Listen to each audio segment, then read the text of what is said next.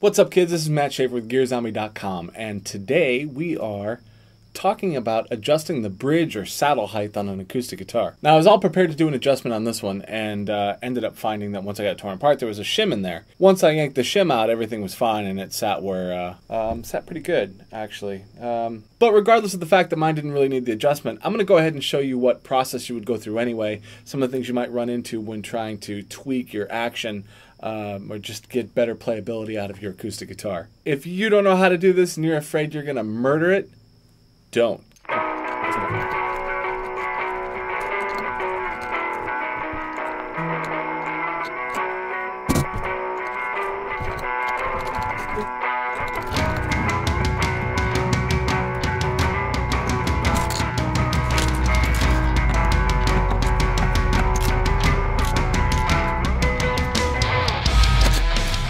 So if you're not very familiar with working on an acoustic guitar, it's uh, it's a little different than working on an electric guitar because you're actually dealing with uh, wood that you have to modify, um, and if you screw it up, then well you could be replacing a part.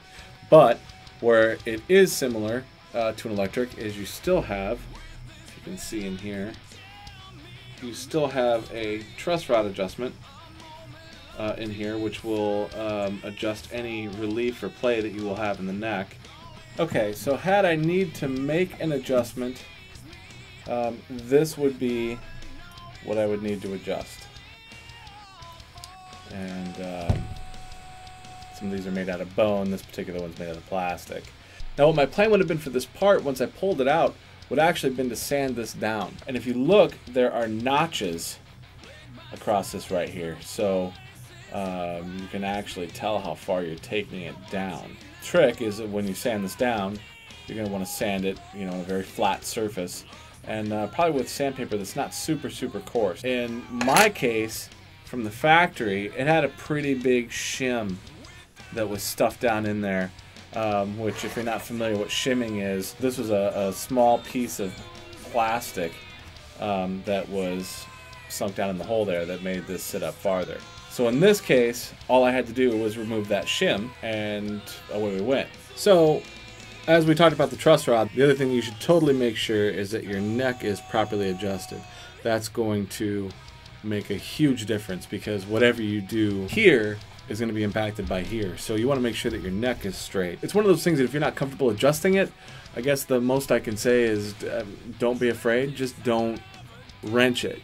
So um, basically, turning your truss rod, um, which most of these will just take a typical Allen head, um, but that's going to make your neck either um, sink in the middle or come up.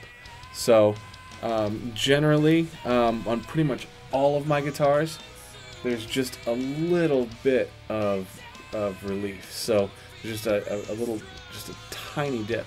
But um, this one is pretty good. I got a trust I got Um, don't. Uh, maybe it's just a little bit.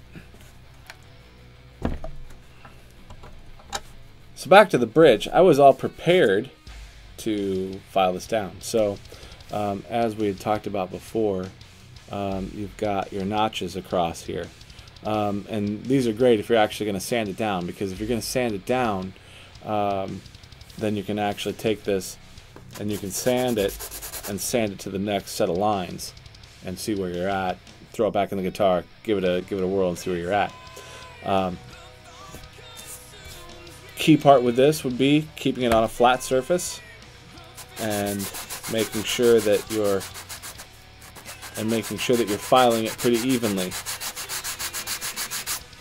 I didn't need a whole lot there, so um, it's actually sitting pretty good. So let's string it back up and see what's happening.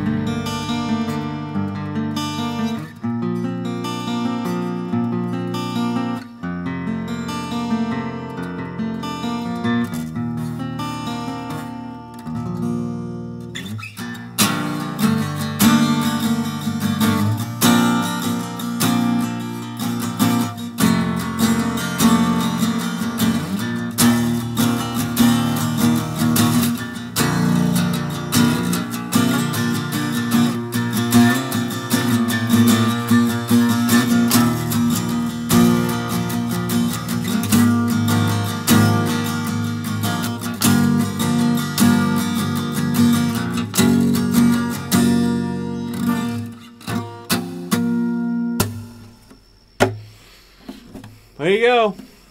Little acoustic guitar noodling. So the strings are nasty. It needs a new set of strings, but all in all, uh, it's a very playable guitar now. So thanks for watching. If you have any questions, leave them in the comments. Uh, if this helped you out at all, hit subscribe. Check out my other videos. I'm going to start posting a ton of tutorials and uh, whatnots. I'm going to clean this dusty thing off and gearzombie.com.